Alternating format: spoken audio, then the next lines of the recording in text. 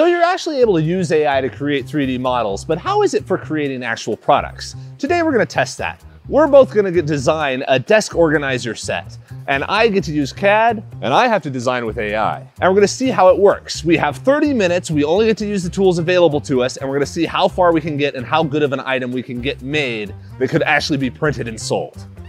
Okay, so I'm gonna do a pencil cup, a cable organizer, and I'm gonna go for like really geometric shapes where I'll have a USB organizer in the middle with little humps right here that will catch all the cables.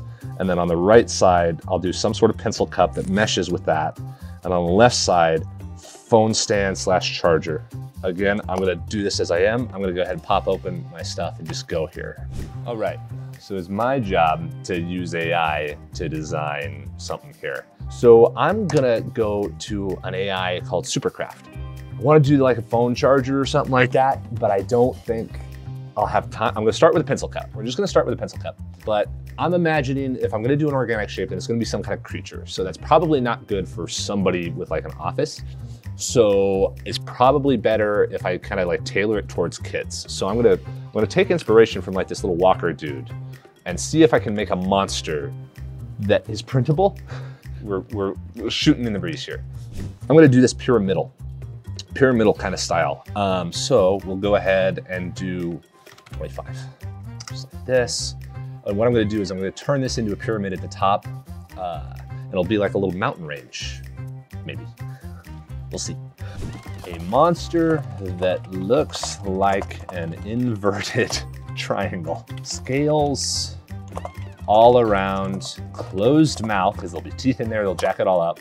A lot of eyes. That's what will make him a monster. And let's see what the AI does with that. I don't have time to like double check the dimensions on this. Uh, so this is gonna be a little bit cattywampus, but it will work.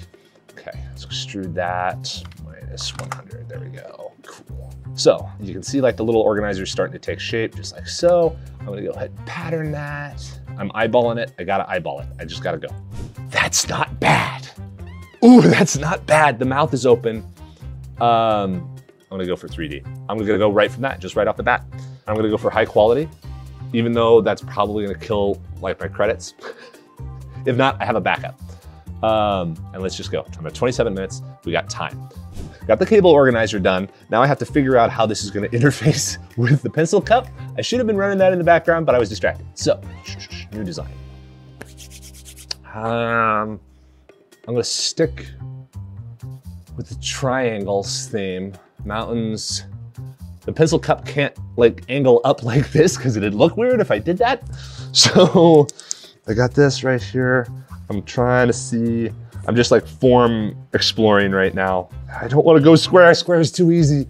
I'm gonna just do the charger. I'm gonna try to do, gonna start with a phone stand. If I have time, I'll turn it into a charger. Oh my gosh. That looks good as a game asset. I don't know what it will be as a printable model. I can pop this up in 3D Builder to see what it looks like. We're gonna do a cleanup on it. I'm gonna save this now as an STL because I wanna know what the actual mesh looks like. There it is printed. I'm not disgusted. I'm not disgusted with that. Dimensions, dimensions, dimensions. I don't have calipers up here, damn it. Uh, no, this is drama. Don't help me. I'm cheating. Somebody brought me calipers. I don't care. 70. Okay, so we need to go 80 on this. Okay, so how do I want to move this around? Oh, yeah, I'll do flush on the back and I'll have them interface on back panels. That way you also can't see like the connection point. Okay, this, okay, I got, I got a theme now. So this is the actual mesh that I'm working with. This is all right. This is something we can work with. Here's what I'm gonna do. I'm gonna insert, I'm, I'm not using CAD. 3D Builder's not CAD. So I'm, I'm allowed, it's fine, I suppose. I don't know. Right there is pretty good. He's kind of seated into it kind of deep. I'm okay with that. Okay, so we'll do that, and then we'll insert another cylinder. This is a little bit catty. This feels a little bit catty, but I could generate that cylinder with ChatGPT to the size that I wanted, so that's allowable. I'm saying it's allowable. Yeah, okay, here we go. Slant chamfer up here. And wait, does that work? Does that do what I want it to? I think that'll do what I want it to. And then I'm just gonna This is really bad form. Don't copy me. I know. I get it. Down in the comments is what it is. This is a quick, easy way to get that lip down at the bottom. And if I can, I'm gonna just, I'm just gonna just kind of mark out where I want the charger to be. I don't know what the dimensions of the charger are either. So I'm gonna use this as like a centering hole. And then I can get a negative that I will drop into this to create a charger that. So that is the phone charger, cable organizer on the middle. Okay, the pencil cup. Ooh, I may have made this all too big already. I thought I needed to scale it up. I probably need to scale it down, but this is gonna be my first pencil cup. I don't want it to be too big. Again, this is for a kid, so I'm gonna just go right there, just like that, edit, and we'll subtract that. Pencil cup. That looks pretty sick. I'm fairly pleased with that. But I'm gonna go to Backflip just to show one of the other options that we have. Uh, Backflip's another AI generator. So let's see here, uh, another monster. I'm gonna do the pencil cut differently. I'm not gonna have it just be a straight block. I'm gonna extend the cable or, oh, I got a way better idea. Uh, I'm gonna do a whole new design and charger will be what it's gonna be, but I'm gonna do this because this is a way better design. Okay, I'm not gonna tell you what I'm doing right now because this is this is way too awesome. That one has four legs and an eyeball. I think it'll work. That one, this I would use this one. I like this one, but the legs are too tall and I don't think I'd be able to crop. Nope, I want that one.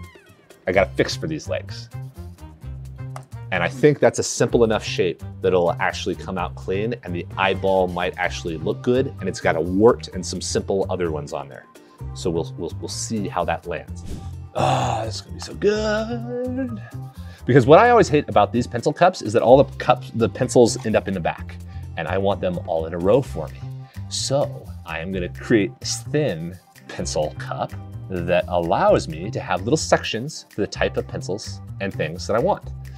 That seems like about one quarter. Yeah. I know, again, I'm not dimensioning this, don't have time.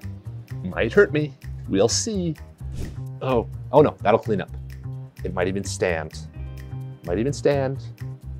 Those look pretty good. It's full one minute to refine the details. Actually, while I'm messing with the gargoyle, I'm gonna turn this guy into a freaking sick phone stand just like that. That's a lot of phone coverage, but I'm gonna live with it. Edit, subtract that. There we are, phone stand, done. Not a great phone stand, um, but a phone stand nonetheless. Shoot. No, I'm redimensioning and I didn't constrain my designs. I, I, can do it, I can do it, I can do it, I can do it, I can fix this. I can fix this. Why can't fix this? Okay, hang on. I have a faster fix for the thing that I screwed myself with. I'm gonna take that cutout only down to the minus 60. That was not far enough. Pattern this. Yeah, what's happening? Why is my spacing not working? And now going back to my monster generation. Oh my gosh, he's got a phone stand slot right up there, which I have no idea why it exists unless they like spy on us. But I'm gonna go for straight sphere and just do a cut myself. By the way, small note on this, the feet actually look like they're flush on the ground to where he might actually sit on a build plate correctly. And I wasn't expecting that. I really wasn't. Uh, let's download this. Uh, I'm gonna call it Mike, because inadvertently I created a particular monster from a particular movie. and I'm not gonna print it in green, but um, I'm gonna call him Mike anyway. What? There we go, okay. And now, the magic for how I'm gonna fix the fact that I made it too short. I'm gonna extrude that face 20 more, and now we're good. So now, yes, this is a plate that will slop down right there on front, in front, and we'll have the organizers through the bottom there, and on the top will be pencils in several little rows, which is all nice. This won't be interacted with a lot, so I didn't want like stuff on the back of it. But now that it's there, I'm gonna put a phone charger off the side of this and the phone's charger can be the stabilizing feature of this thing. Okay, so we have him right here. I'm gonna use an interesting feature of 3D Builder, which I can go to Object and I can hit Settle and he'll land flat on the build plate. But what I'm going to do, I'm gonna turn this into a charger like that. On uh, Teleport and Slant Pod, we have this charger negative, and it will cut out the charger slot and a flat for the phone itself, just like this. Phone charger slot on the side of the monster's head. Uh, some cleanup, that's not good. So ultimately what we're learning is that, yeah, you can use the AI, but you're gonna need to do some cleanup. Just like this. Okay, we got a monster, phone mounted on the side of his head. That almost looks good. Okay, there's my stand for my phone. And then I'm gonna do a big old giant slot down the middle of it. When your phone is not on this, it's gonna be ugly as sin, but that's okay. Right here, this is the slot for the MagSafe or the USB charger. There we are, that's finished up. Okay, so I have a pencil cup with multiple channels across the top, phone charger right there. This is a nice little organizer piece. Okay, um, I'm sending this. Boy, that's what a that roller coaster. So AI problem. Uh, you might want to see this, Chris. The um, slicing and it's the wrong size because I exported it the wrong size and never like double checked.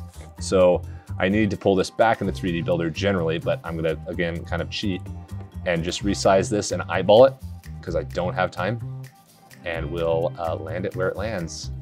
Um, I have to slice it. And this is when I find out that I made it the wrong size. Oh yes, right there, eyeballing it. Support might generate inside of there. I don't like that very much, but I'm willing to live with this. So I'm gonna send this, there, file done, sliced with standard settings, finished up. We're gonna save this as a full STL and I'm gonna hope it doesn't have any errors. I'm gonna try to upload the mesh to see if I can just get away with it. Oh my gosh, that fits perfect. Here we go. Uh, so we've got a charger and a pencil cup and a phone stand of several different monsters. They're contrasted with each other. Um, anyhow, we'll, we'll see how it goes here at judging of which one comes out the best. So we'll, we'll see how it goes. All right, so I finally got the prints back. Everything dimensionally works pretty darn well. I can shove my cables through through there and they'll all be held and retained. Obviously you have all the, the pencil cups up on top. If I was to redo this, I left this closed because when a phone is put in the top there, then you have it clash with the pencils, but I think I might actually just turn that into a cup. Um, but they work really well. Uh, the front, front phone case is all good. This one's not MagSafe. Um, if you were like selling this on Teleport, you could include, the MagSafe charger so that a person could stick that together there. But overall, like it is there and it is functional and it'll do what I want it to do. So for a really rushed job, it turned out pretty darn well. I'm, uh, I'm reasonably happy with this. All right, so my prints, both those, um, pencil cup, sized out pretty well. I, I eyeballed that pretty decently. He looks decent.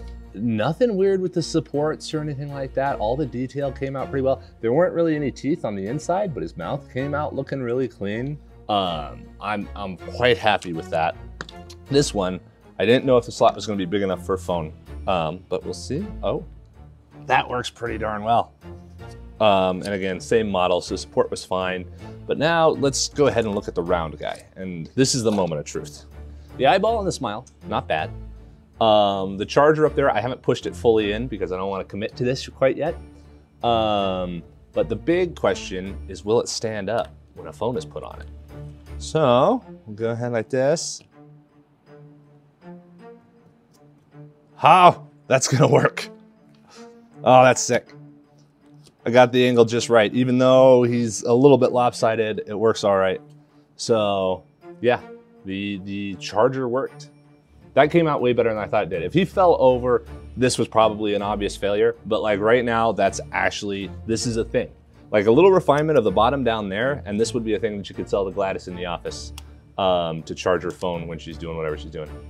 So guys, comment down below which models you thought were actually the best. Going through this, it was really interesting because uh, I kind of knew going into it that AI had limitations around having actual intentionality around it, but that's kind of easy to work around with. If you have some tooling around, like something to crop out a slot or a hole or whatever it was, and you have like pre-built STLs, then it's fairly easy to take a, an AI generated model and turn it into something that's useful or practical in some sort of a way.